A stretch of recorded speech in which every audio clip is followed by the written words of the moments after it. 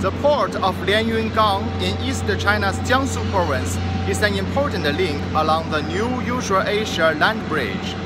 In recent years, the port has been used by member countries of the Shanghai Cooperation Organization as a gateway to the sea to export their merchandise. On June 6, Chinese President Xi Jinping and Kazakh President Nursultan Nazarbayev in Astana inspected via video link the departure of two cargo trains carrying containers heading for Almaty and Istanbul. The Global Times visited the Lianyungang China Kazakhstan International Logistics Company, a joint venture of the Lianyungang Port Group and KTZ Express. Cargo headed for Central Asian countries from our port includes auto spare parts, medical equipment, daily necessities, and construction materials. Kazakhstan mainly exports materials and ferroalloys to China and Southeast Asia.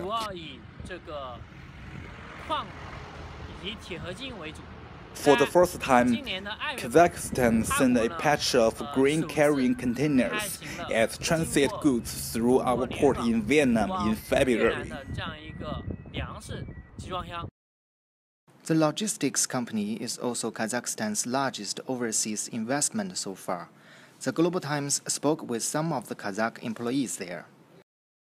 From 2011 to 2016, goods passing through Kazakhstan between China and Europe was up 100%.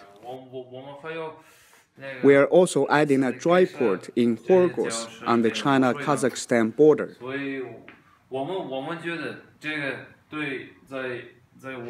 We believe the opportunity for Kazakhstan and China is growing.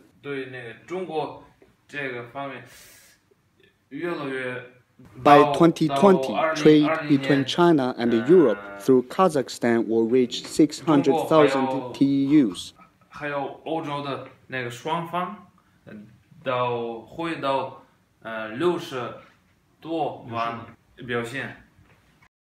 Lianyungang is forging itself into a gateway to the sea for all the Central Asian countries in the Shanghai Cooperation Organization and Kazakhstan is not the only country benefiting from the port. With the Belt and Road Initiative steadily progressing, the port is poised to link more Central Asian countries to the Pacific and the vast market of sea transport.